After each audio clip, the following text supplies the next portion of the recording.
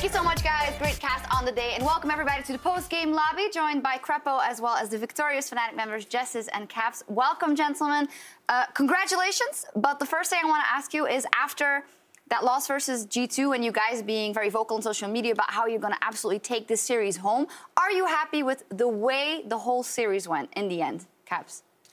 Uh, I mean, I can honestly say that after the first game, I was kind of sad because it was a really tough game for us to play. At least, and we had some communication issues, uh, which I was I didn't feel that much in, uh, against G2, but they actually started showing uh, against Giants. But after the first game, we started, uh, we talked about it and we managed to fix it.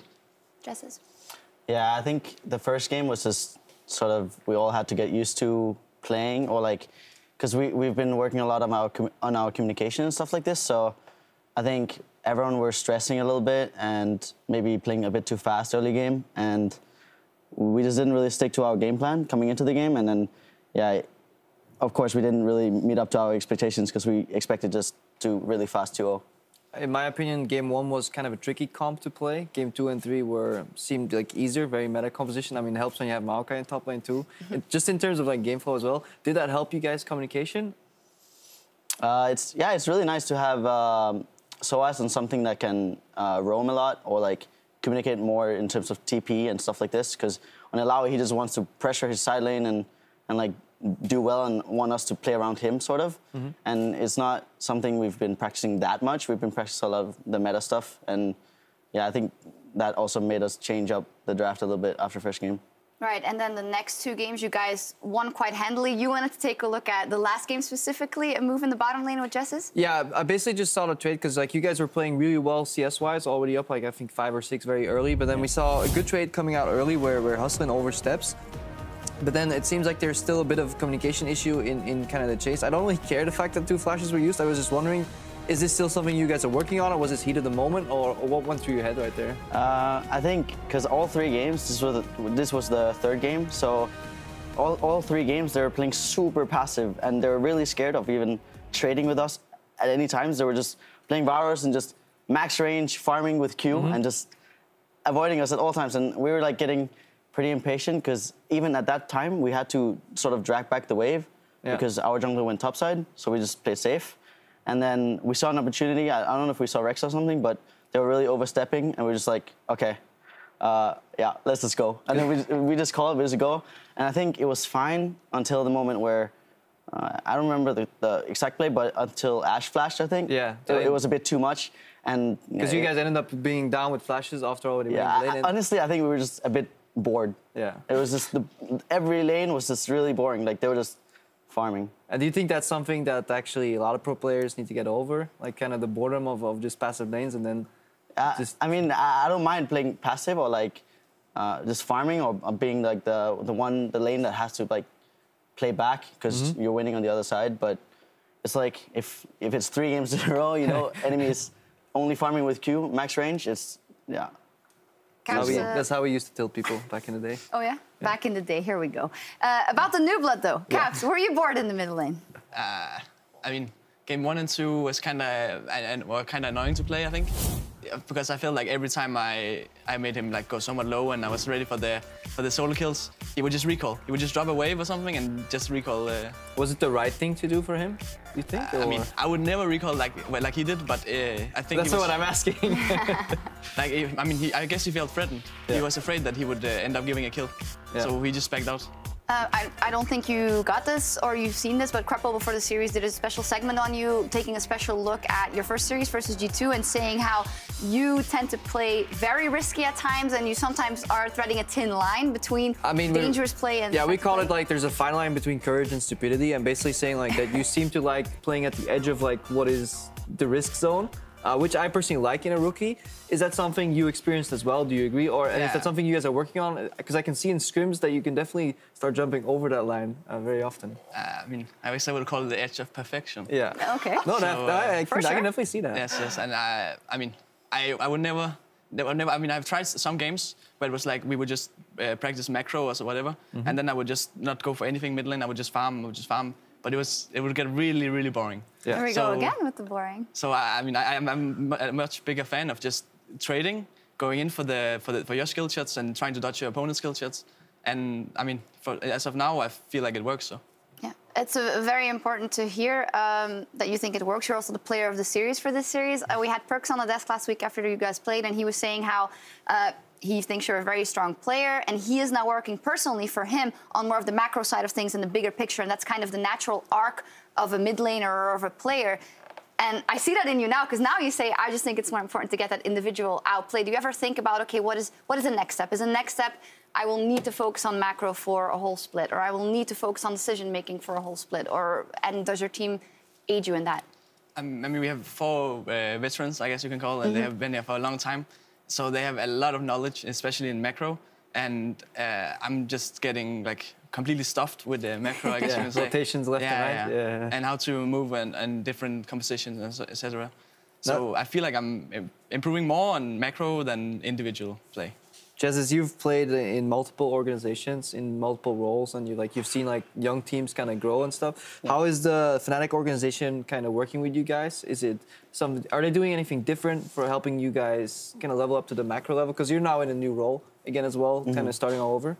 Um, I think I was in one of the more uh, cheap organizations in my past, like as a player, but I think when I was coaching in Immortals, I definitely felt like the the higher tier life of uh, staff taking care of everything for you. And uh, now being a player at Fnatic, it's the exact same thing, if not better. And I'm getting everything that I want. Basically, we're all getting everything that we want uh, from from Fnatic's uh, side of things, and everything's going really great so far with Fnatic.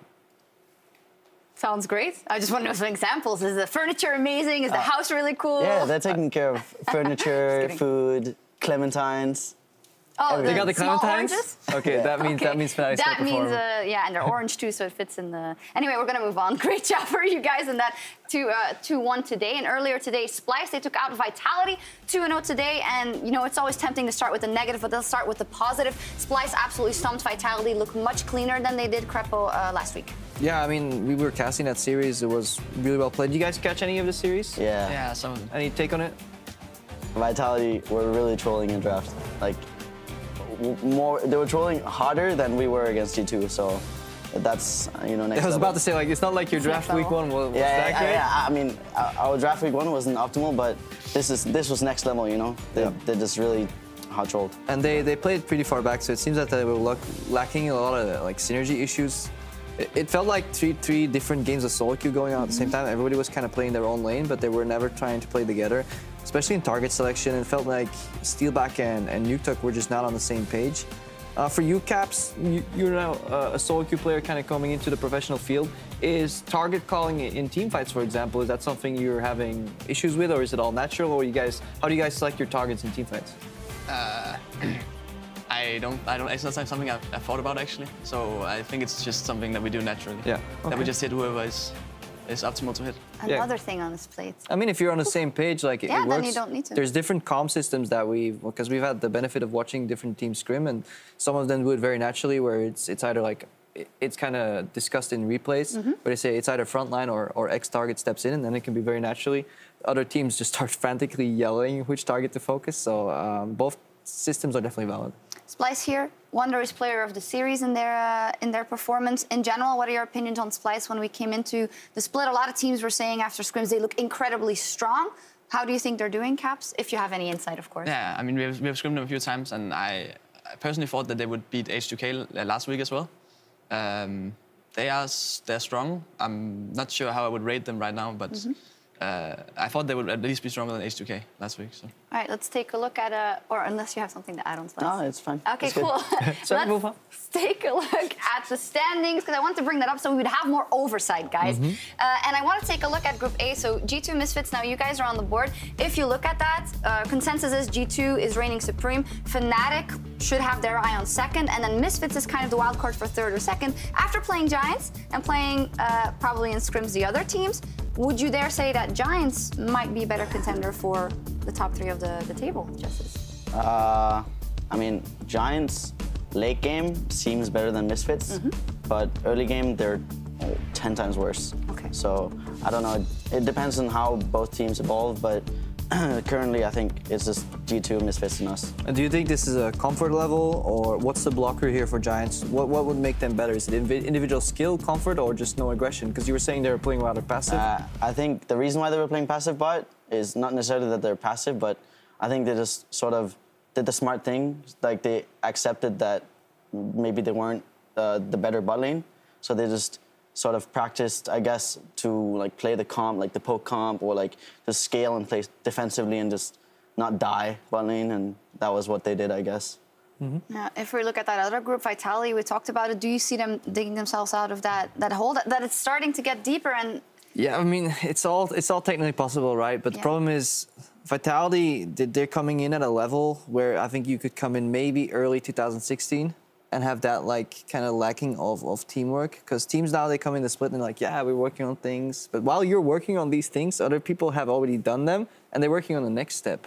So they're in phase one. Well, every other team starts in phase four or five, and G2 is already in phase like 12 at this Yeah. point. You know, so yeah, I think it's they're too far gone. Well, especially in the fact that there's two groups now and there's five teams, and you need to get uh, as high as possible in that table. in I mean, there's still cross map group. We, Yeah. we always forget it, but there's like four weeks of cross group play where you play one match where you have to matter. So as long as you peak in the mid of the split, that's where you can really win important matches. How is it for you guys, Caps, as a team? Do you guys very much have your eye on, okay, already if I would have lost that series versus Giants, we would have been down? Or are you guys not thinking too much about how the standings look right now?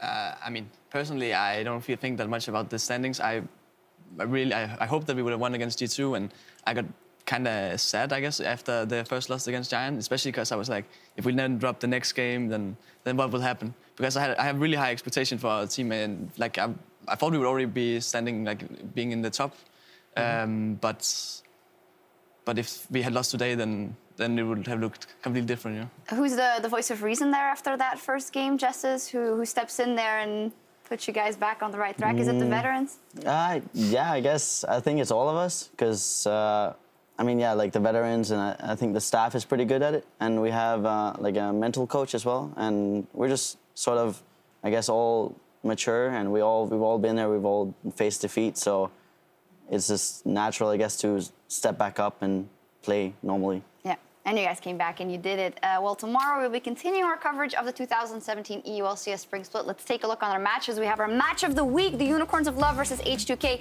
and Misfits versus G2. Uh, first up, the match of the week, guys. Unicorns of Love, they are now two series wins up. They look quite strong, as does H2K. How do you think that's going to go, Caps?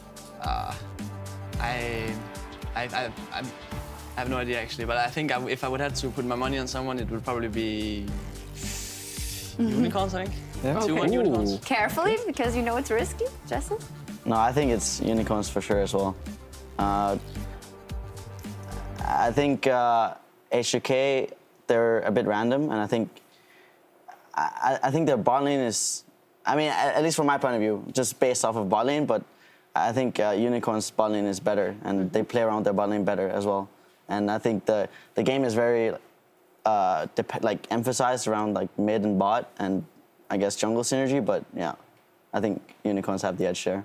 I think those are those are all good points, but the the one caveat lies in the fact that I think H2K's bot lane is aware that when they are weaker, they can also step away. That's what they did very well in, in, in the previous weeks, is where uh, yield the turret, just step away, and then H2K as a team was already out rotating first. So I think they can do that again. It all depends. Like it's fine if you lose gracefully and step away, but if if that somehow if you make one mistake while trying to lose gracefully, you get smashed. That is the problem. So we need to see what happens. We will. Jankos versus Xerxe here also. Just a very Yeah, exciting match cool. there. Uh, and our friends over at the NALCS, they will be logging on at midnight with FlyQuest taking on CLG. Does anyone want to uh, do a prediction on that match? I mean, it's so surprising that FlyQuest Yeah. is doing that well when they couldn't even have like proper PC setup, and then CLG was starting off really slow. I mean, in the this or that from uh, Kobe and Jatt, they, they were like arguing who was the bigger disappointment. So on paper, right now, FlyQuest should actually take it. Yeah. Anyone else have an opinion on that? I don't watch NA. All right. Well, it's at You midnight. You'll be home just in time to watch it. We'll see what happens. Time for us to log off for the night. Thank you guys very much. Thank you guys, guests, for joining us here, and congratulations. And join us tomorrow at 4 p.m. Central European Time. That is 7 a.m. Pacific for more European League Legends. All right. Good night, nerds. nerds.